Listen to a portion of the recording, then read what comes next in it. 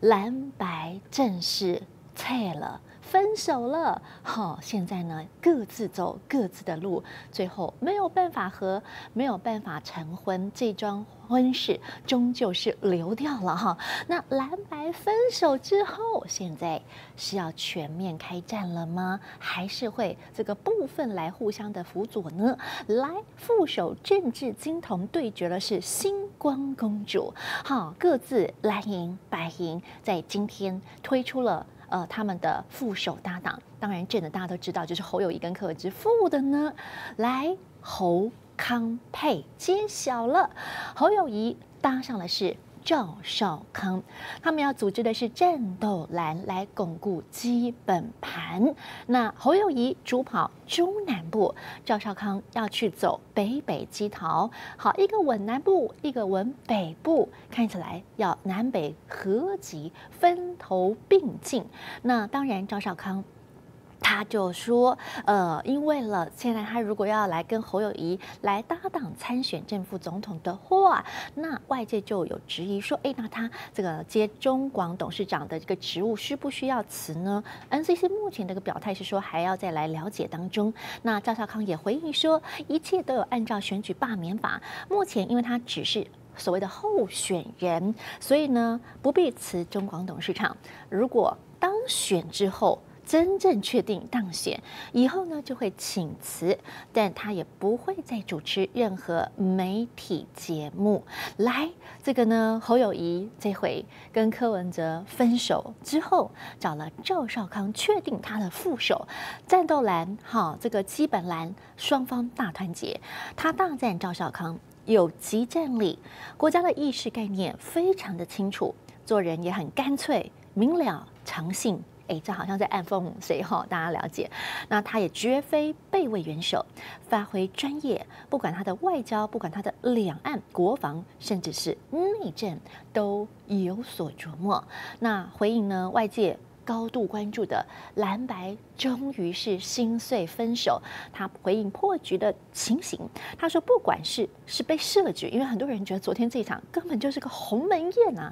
好，郭台铭设局哈，把蓝营找去羞辱吗？不过呢，侯友谊说，不管是设局。”或是受辱，跟国民党主席朱立伦非常诚心诚意，却让马前总统哭等五个小时，对前任的国家元首非常不礼貌。马总统虽然受辱，但是他还是去了。好，所以看得出来，侯友谊也为马英九来抱不平。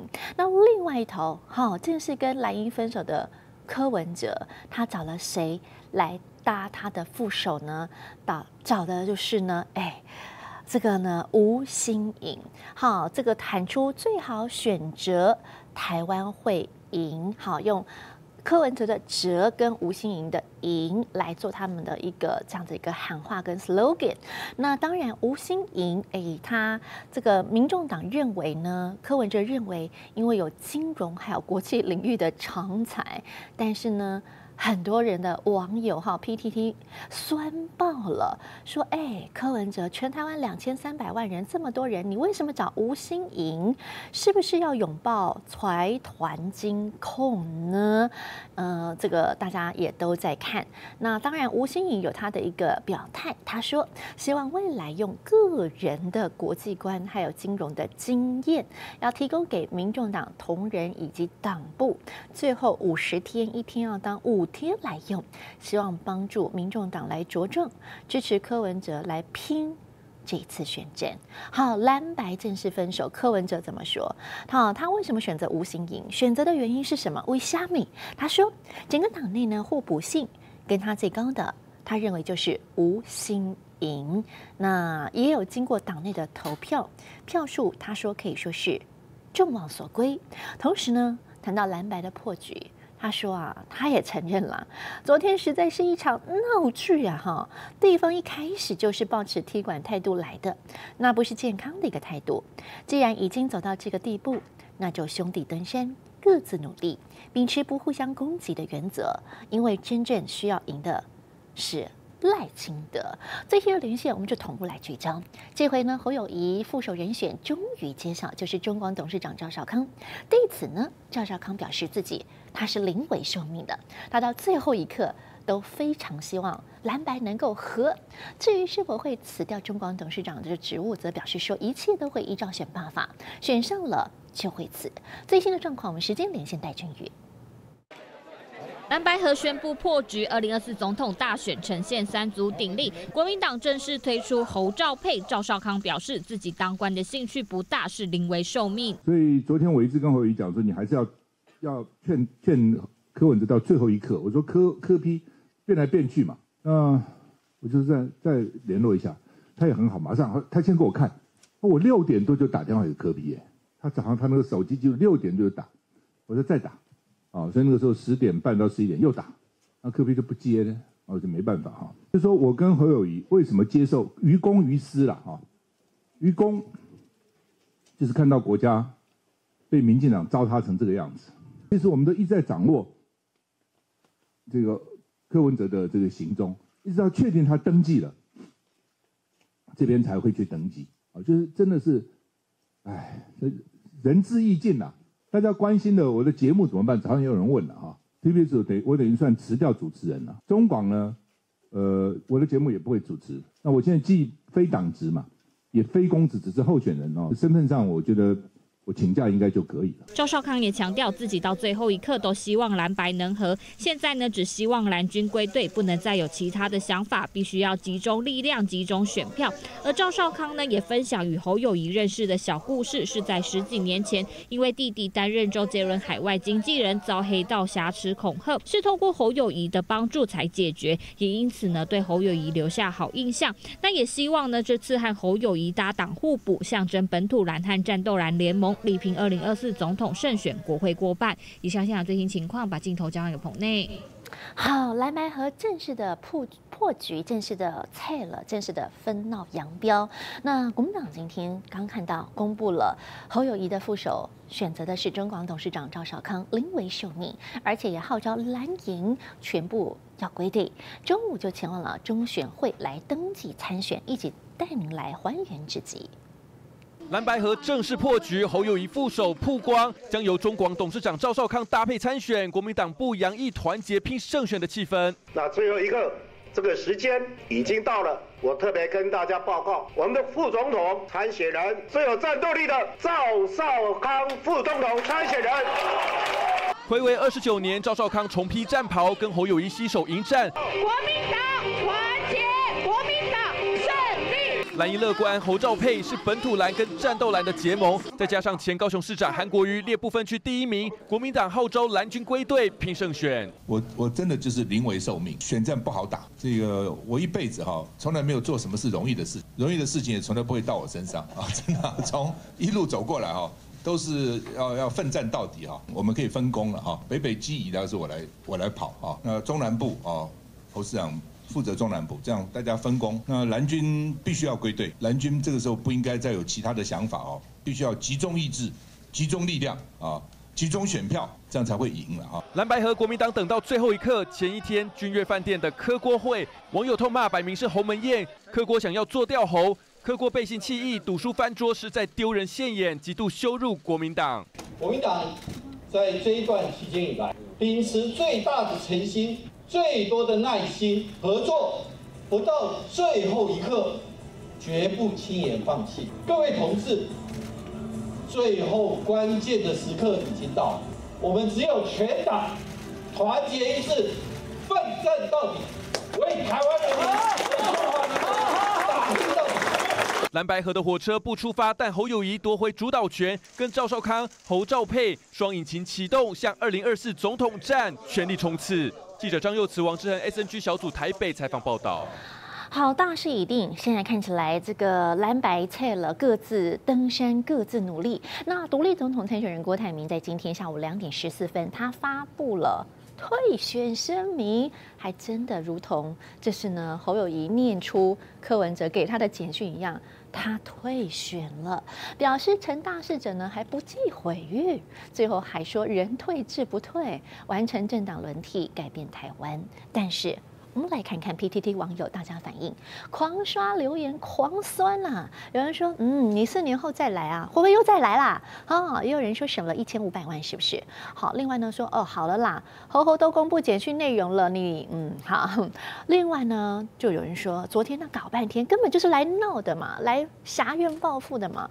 另外呢，这个有人说赖佩霞是最可怜的吧？我的美国籍就这样拜拜，跟着你玩掉了。好，也有人说，哎，这个有钱。每种装效哎，还有人说这招只能玩一次哦，你近百万的连署哦，是怎样呢？那群人现在帮你连署的，不知道在想啥了啦。好，也有人说啊，真的完全不懂他到底是在干嘛。好，也有人说，哎，反正你昨天气也出了嘛，退下来省钱，卡实在啦，是不是在省钱呢？好，也有人留言说，哎，西是不是先下来省起来，下次再来玩？好，也有人说，嗯，底下两个小弟根本没在。理你这个大哥的啦！好，还有人留言说连续我看都是搭塔绿班吧，根本没差。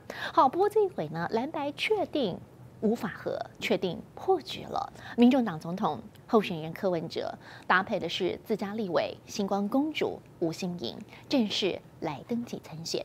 二零二四要选到底了。不过，其实，在昨天大家应该都有看到这场史上。最离奇、最荒诞的一个闹剧啊！这是鸿门宴吗？好，一来呢，这个呢，郭台铭就疯狂在洗脸，马英九跟朱立伦，好，昨天上演蓝白河的闹剧，郭台铭被外界痛骂，你根本故意带着铁锤设局来教训国民党，名嘴更猛轰郭台铭。你背刺国民党的黑历史，你之前已经翻桌，好，现在又来翻桌，完全没有诚信，根本没有资格当统哭。侯友谊是尊重你，希望能够再也泛滥能够整合，好，所以呢放低姿态，你还当真啊？网友也狂酸，鹰派的黄珊珊稳坐立委，才是导致蓝白破局最大的受益者。蓝百合正式破局，民众党总统候选人柯文哲确定搭档自家立委星光公主吴欣颖当副手，确定组成柯吴配选到底。为了这个国家的公平正义，我必须挺身而出。我邀请吴欣颖委员和我义无反顾拼一次。但前一天侯科郭朱马原设想是蓝白最后协商，最后却演变成吵架闹剧。本以为是痛哭的郭台铭，却当众羞辱马英九和朱立伦是重量级不速之客。而柯文哲也不断跳针批评国民党，网友就。质疑民众党从头到尾根本没想要和吧？郭台铭选书就翻桌的人，到底凭什么当协商代表？四年前出来乱的人，不就是郭台铭吗？那这一次呢？他是不是在征召的过程说，我如果输侯友谊，我要全力的帮侯友谊？他有吗？他没有啊。那他自己还连署连署的九十几万，害得二十几个人被收押进监了。收押进监的都是因为帮他连署的。那我请请问你，郭台铭的儿子在哪里呢？为什么这种人有资格做统哭？我们要把话讲清楚啊！为什么要听郭台铭的话？我我我不太理解，为什为什什么是郭台铭的决定在哪里见面，然后柯文哲去配合？我我不理解啊！他有比马英九伟大吗？他有比马英九重要吗？为为什么是他决定呢？我我我不理解哈！昨天那一场是等于柯文哲事先跟郭台铭就讲好了结盟，然后呢叫侯友宜去强逼着他要接受柯侯配，郭台铭是要当统哭，结果没有想到他带那个。要铁锤去啊！他拿个铁锤啊，锤向谁？锤向朱立伦呢？而且还对马英九讲话非常不客气啊，说重量级的不速之客，有必要讲到这个样子吗？老百姓都在看的了。民众党鹰派的黄珊珊成了导致蓝白河破局的关键角色，脸书也被网友灌爆，网友炸锅炮轰，白皮绿骨的人偷笑了吧？想保送民进党，你哥的钱竟然就没人查？就算柯文哲落选，黄珊珊还是不分区立委，黄珊珊才是最大赢家。战狼们想要摧毁台湾，按照联协都没有。问题啊，他签字什么事情都没有了。是黄珊珊打那个电话，他动机怎么样不知道。现在看到的是柯文哲不守信用，人前能够差这么多，讲话不算数，签字不算数，这个账都算在黄珊珊的身上。他未来你可以看得到，他不分区一定有，他们就跟民进党一起，他还可以说不定可以当副院长，他前途是变光明的。可是对台湾民众来讲，大家最希望的蓝白河来下架民进党，就是因为。